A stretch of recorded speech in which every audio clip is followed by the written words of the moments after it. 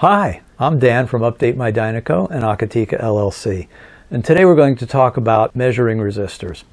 And it's an illustration of a problem that I sometimes get an email about. So the usual way we'll measure a resistor is we get our digital multimeter and we set it to ohms. And then what you'll see people do is they grab the resistor and they put their hands across the resistor and hold on to the resistor on both sides and measure its value. And it says it's about 200 ohms. And it turns out that I pulled that from a bag that said 200 ohms. So this is pretty good. All right, life is good. Now we grab another resistor and we're going to measure it. This resistor was from a bag that said 3.01 megohms. Let's try and measure it in the same way and see what happens.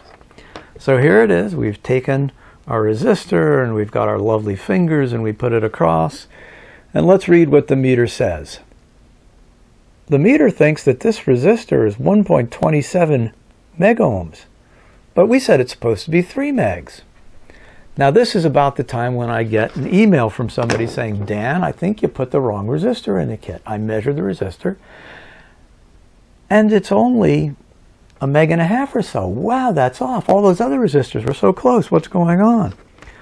Well, it turns out that when you measure it like this,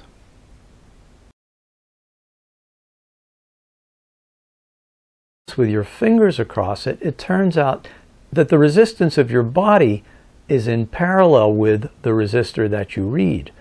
And if the resistor has a pretty high value, then your body resistance makes a big difference to the reading. Let's see how much. Now what I'm going to do is just measure the resistance of my body. I'm going to press both thumbs to both of the probes and see what the meter says. And there we see that the meter says that just my body is about two and a half megohms. So what's happening is I'm getting my body at two and a half megohms in parallel with a resistor of 3 megohms. And that's enough to make a huge difference. So let's show the better way to measure high resistance resistors. The idea is we take the resistor and we put it down on something that is guaranteed to be non-conducting. A paper envelope would be a good thing, maybe your bench top depending on what it's made of. So come on here and take a close-up and We'll look at the measurement technique and also the value of the resistor. We are now measuring the resistor in kind of a more blameless fashion. And what we've got is a reading of about 2.97 megohms, which is very close to the 3.01 megohms that this resistor is advertised to be. So the summary of this is when you're measuring high value resistors, or really any resistor if you'd like to be accurate, Keep your fingers off the probes.